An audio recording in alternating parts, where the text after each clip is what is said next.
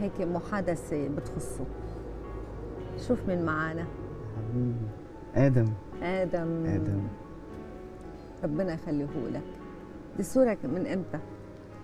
دي تقريبا أول آم، يعني ما بدأت إن أنا أشوفه تاني وأخرج بيه وكده و- قد إيه متعلق فيه يا أحمد؟ كتير. قد إيه؟ كتير. كتير. كتير. كتير. يعني في حاجات أنا ما أقدرش أقولها بس يعني إيه؟ آدم يعني عارفة هو الفرحة يعني هو بالنسبة لي آه، ال- الوقت ال- اللي بحس فيه إنه مبسوط أو أو هو فرحان بيا أو راضي عني أو كده ببقى حاسس إن أنا كأني يعني خدت جائزه الأوسكار يعني. مم. هو آه، يعني فرحة وجت بعد شوق وجت يعني وقررت بعديه إنه الحمد لله يعني ربنا يقدرني بس و- واسعده هو ومش مش عايز عاي- تانيين؟ مش عايز تاني خالص مش عايزة أولاد أبدا؟ لا خالص حتى من مراتك الجديدة؟ لا هو ده كان اتفاقنا يعني هي هي كمان يعني مش يعني هي كانت مرتبطة وعندها أولاد ف فهي مش يعني ما عندهاش الرغبة إنها تنجب لأول مرة يعني آه ف إنه عاوز تربي الولد الوحيد عايز آه يبقى آدم كده يعني مخمخ له كده. أظبط له كل حاجة. إن شاء الله يا رب. نفسي أعرف اسعده يعني عنده كم سنة دلوقتي؟ آدم 13 و 13. يتم إن شاء الله في آخر السنة دي 14 ان شاء الله يعني سن المراهقة ده بقى آه. دلوقتي. آه. آه. ابتدينا آه، نتعب شوي في آه، الموضوع. ابتدينا نبقى المسألة فيها إنه مفيش كلام يعني إيه كلامه قليل شوية و- وهو آه. ما شاء الله عليه يعني إيه برضو مامته يعني مخلياه كده بيفكر كويس ومتعمق قوي بيسأل مم. طول الوقت في حاجات. آه، أحمد هو فهم اللي حصل معك قدر يفهمه؟ قدر يتقبله الموضوع؟ آه. بس مين بس اللي شرح له الموضوع؟ فهمه إزاي؟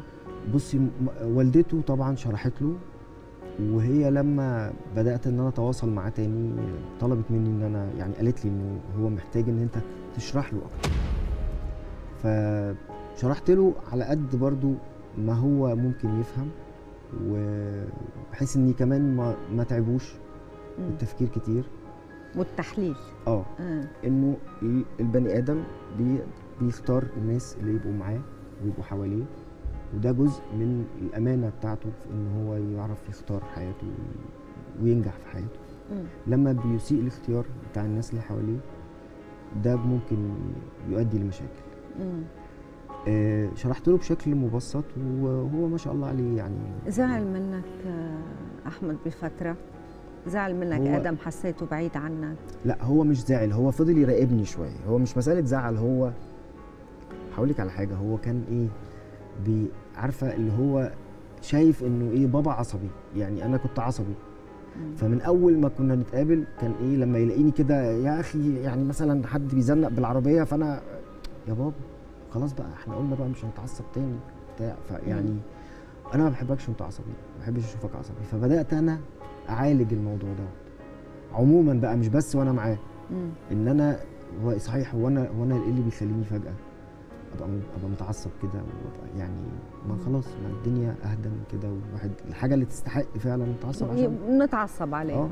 فهو بيعلمني يعني ده دي من الحاجات اللي أنا بحبها قوي فيه.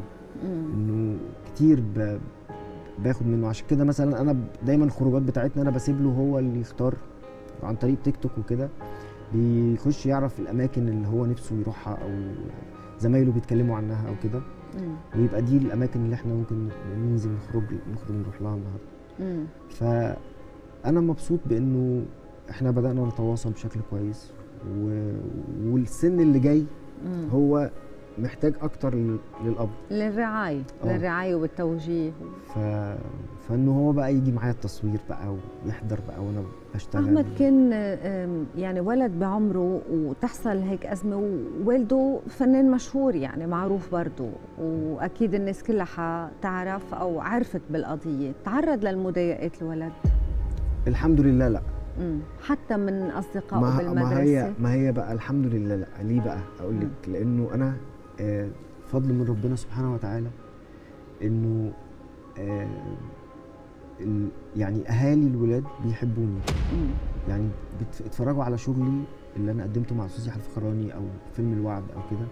فهم فاهمين إنه كل كل الناس الحمد لله يعني ممكن تحصل لها أزمات والفكرة في إنه مين اللي يقدر يتغلب عليها. فالولاد بيسمعوا أهاليهم يعني بيسمعوا أهاليهم هم لما بيشوفوني في التلفزيون بيتكلموا عني إزاي.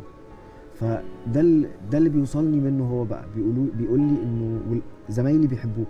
أنا ما أعرفش بيحبوك ليه يعني أنت يعني هم أكيد ما شافولكش شغل بس هم بيحبوك عشان أهاليهم بيحبوك. عشان أهاليهم طبعا. فده اللي كان آدم بيقوله لي. فدي من الحاجات اللي يعني سبحانه وتعالى وأنا طبعا يعني بعد ربنا آه، قررت إن أنا أشرح له. يعني حتى بعد الفترة من فترة قريبة لما في أحد البرامج أنا اتكلمت عن الأزمة وكده والموضوع يعني الناس تفاعلت كتير بشكل كبير جدا قوي في مصر كلها الحمد لله. فتاني يوم الصبح رحت له وقلت له بص زمايلك هيكلموك عن إن بابا امبارح كان في برنامج وكان في كذا كذا ف آه، دي حاجة عادية وده يعني أنا بشرح للجمهور إيه اللي حصل. أفهمهم إيه ال- إيه اللي كان حاصل لي وده هيخلي إنه الناس يعني تتفاهم إنه أنا إيه يعني إيه اللي- إيه حصل وإيه اللي ممكن إن شاء الله بإذن الله. يحصل بعد كده